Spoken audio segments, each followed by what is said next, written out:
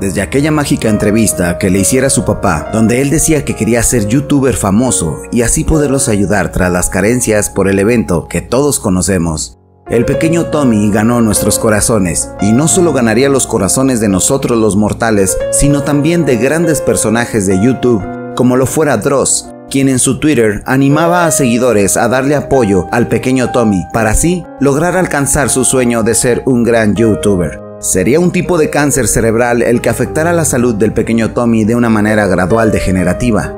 Es por eso que al alcanzar la fama en dicha plataforma, y como siempre ha sucedido, los haters se hicieron presentes, motivo por el cual su madre decidiera mejor retirarlo de la plataforma, ya que los tóxicos comentarios de gente nefasta estaban afectando emocionalmente al chiquitín, cosa que a muchos de sus seguidores nos entristeció, ya que la buena onda y el espíritu luchón del pequeño Tommy de cierta forma nos servía de motivación en nuestro día a día, dándonos una lección de superación y mucha fuerza interior. Alcanzando la cifra de 8.420.000 suscriptores, pone la partida del pequeño Tommy un moño negro en la comunidad gamer y en los youtubers que de cierta forma lo admirábamos.